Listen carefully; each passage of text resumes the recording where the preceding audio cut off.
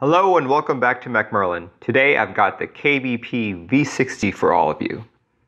The KBP V60 first came out in 2014, which is coincidentally around the same time that I first joined the community.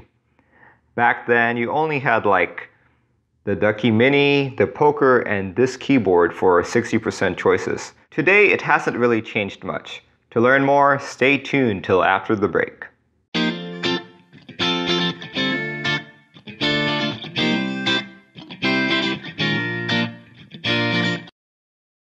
First of all, thank you very much to KBP for sending me a whole slew of V60 keyboards.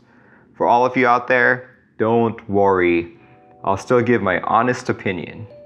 The batch sent to me all have some variant of Alp switch, but you'll still be able to find these boards with Cherry or Gateron switches. For those of you who watched my previous video, the KBP V60 Type R, this is a different PCB. There is no full programmability. The keyboard comes in a small box that reminds me of a shipping box actually. It's got the logo emblazoned on, with the difference in keyboards affixed with stickers on the left and on the right. When you open it up, you've got your keyboard wrapped in protective foam, USB cable, key puller, and miscellaneous keys to use for your preferred layouts. The case is made of plastic, and with many of the tray mount 60% plastic cases, there is some flex. Fortunately, don't compare this to the cheap 60% cases you can buy for under 20 bucks. This is a lot more stable when typing. Those other cases tend to wobble as you type. Another difference is the way it's shaped. It's angled at the back and the weight seems to be supported on the left and right of the keyboard. Looking at the USB cutout, you can see that it's shaped like the USB port. I really like this as it adds additional stability to the USB port. The case is also supported by four rubber feet to prevent it from slipping and an opening for the dip switch. Some boards you see out there literally just have a hole in which you can see the dip switch and even touch the PCB. Like the USB port, the case is form-fitted to the dip switch. This is an excellent idea. This is the issue that I have with this case. If you ever need to take your keyboard apart, you need to peel some of the rubber feet away if you do this often, you'll soon have to replace said feet. But Merlin, no problem, I'll just buy one of those fancy aluminum cases. Wrong! As far as I know, there are no cases out there that support a hole as big as this dip switch. So yeah, I guess you're stuck with this case. Therefore, there's no real need to take it apart. Looking at the provided manual, you've got a total of three function layers the base QWERTY layout, the FN layer, and a dedicated arrow layer that you can toggle to by hitting FN and enter. When you do this, you'll see an LED light up. I'm going to say that this is probably one of my favorite features of any 60% mass-produced keyboard. I barely use my bottom right modifier keys, so having arrows there is a godsend. There are no lighting options on this keyboard, so naturally, you don't have any keys to modify that. The KBP V60 also provides dip switch options. You can change the functionality of your caps lock key to FN or control. You can change your control key to FN or tab. You can change your tilde to escape, change the positioning of your Alt and Win keys, and of course, you can change the position of your FN key. Refer to the manual for more details. The keyboard has a standard layout. At this point, I usually comment that most keycap sets will fit just fine. But since all the keyboards I'm reviewing today are Alps based, it might not really matter. I guess the only aftermarket sets you can purchase readily right now are from Taihao, so those will work. Anyway, the keycaps provided kind of suck. There are super thin ABS OEM profiles, they're not even double shot. This is one of the biggest drawbacks of choosing an Alps-based board. You're going to have a ridiculously hard time finding keycaps that are good quality and that will fit your layout. So good luck. I'm going to be covering quite a few switches in this review, but they are all Alps variants. Don't get me wrong. None of these keyboards have complicated Alps. Quick history lesson here, all from Deskthority.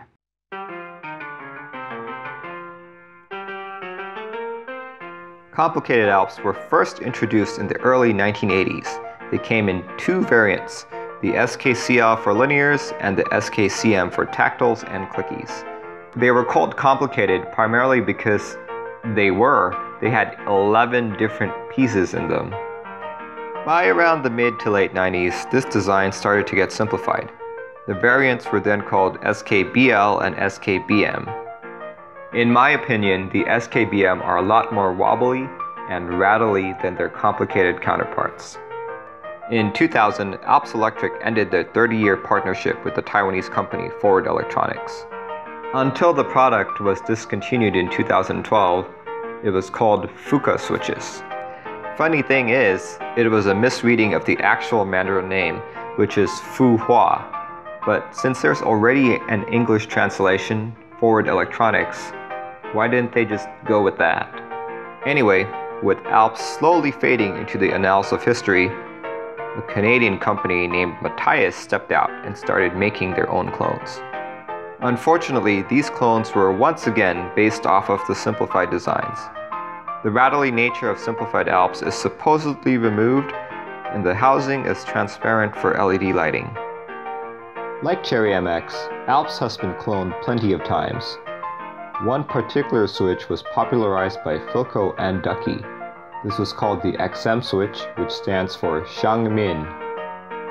The product name, however, was KSBC, N, or LE. I'll talk more about the KSBC later. Alright guys, let's just take a look at some of the boards here. These are the XM or KSB-C switches. That's actually supposed to be an ivory slider, not white. Okay, so let's backtrack a bit. If you've watched my channel enough, you know that I hate clicky switches, and I'm somewhat annoyed that almost all the keyboards they sent are clicky switches. My impression of the Fuka switches, not bad. They actually kind of sound like Blue Alps. They're they click for sure, but they're not so high pitched. Next keyboard is the Matias Click. So I don't know what the deal is with Matias switches, but it is extremely hard to pull keycaps off. I've owned other Matias boards in the past, and on more than one occasion, while pulling out the keycap, I ripped a few switches out.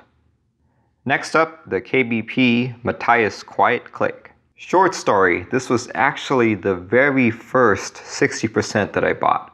I used it for about a week at work. Um, I loved how the switches felt, but the whole combination of a plastic case and quiet switches kind of made the overall feel feel really cheap. To be honest, the whole reason why I wanted a 60% was because I got to play with the Duck Viper. I know, I know. It, it's not a fair comparison and probably skewed my thoughts and opinions about the Matias. And now this is their newest switch. It's actually not a KBP switch or a Matias switch, but it's a switch made by Datacom. These are the Datacom Browns. Keep in mind, this is still based off of the simplified Alps designs, so for those of you fortunate to own a keyboard with SKCM Browns, don't expect it to be any way similar. In fact, as I'm typing on it, it feels similar to what the Matias Quiet Clicks would feel if they didn't have dampeners. In terms of tactility, they have that Alps tactile feel, but it's not as large as the Matias Quiet Clicks. I'd even say it's not as tactile as the SKBM Blacks. It also has a lot of ping, which annoys me a lot. Still, it's not as noticeable as other keyboards I've reviewed, but nonetheless, it seems that it suffers the same issues as its SKBM brethren. What I have here is my perceived ranking of Alps switches. All these switches I actually do own, so it's not like I'm at a meetup trying different switches for a few seconds each. As mentioned earlier, I hate clicky switches.